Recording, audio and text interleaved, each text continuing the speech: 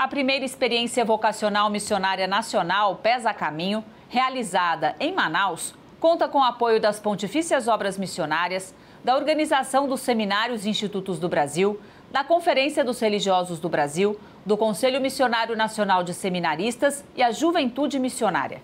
A experiência segue até o dia 17 de janeiro. Luciana Martins tem os detalhes. Dom José Ionilton, bispo da prelazia de Itacoatiara, no Amazonas, participa da primeira experiência vocacional missionária nacional Pesa Caminho, que tem como tema Enviados pelo Espírito até os confins do mundo e o lema Cristo aponta para a Amazônia.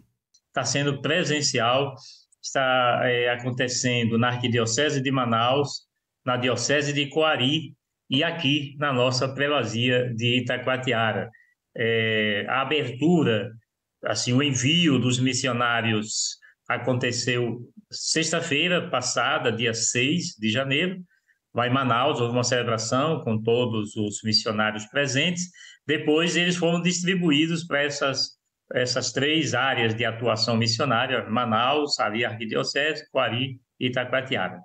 Dom José Ionilto explica que os jovens foram divididos nas três áreas de atuação: os missionários são enviados para comunidades ribeirinhas, urbanas e de estrada.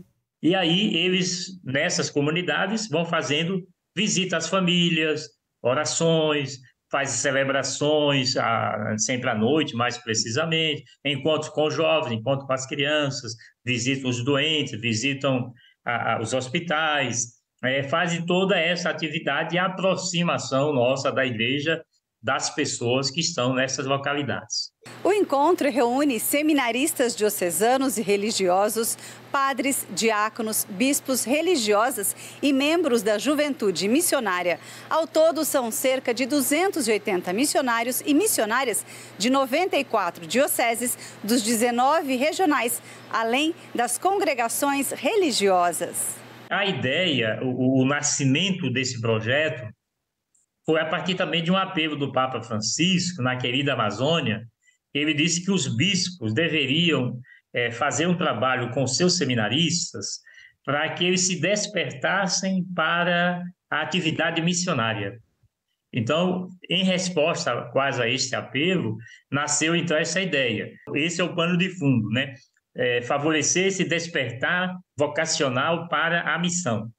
E é claro, o outro objetivo é fazer as, a gente também ter oportunidade de visitar mais as comunidades, né? comunidades que passam às vezes um tempo sem receber né? um sacerdote, né? Tem também padres, eu falei seminaristas e estudantes da vida religiosa, mas tem também uns 20 padres que vieram também, aceitaram, estão aqui fazendo missão esses, esses 10 dias aqui na nossa região. A missa de encerramento será presidida pelo cardeal Dom Leonardo Steiner, arcebispo de Manaus, no dia 16 de janeiro, às 18 horas. Luciana Martins, para a Rede Vida de Televisão.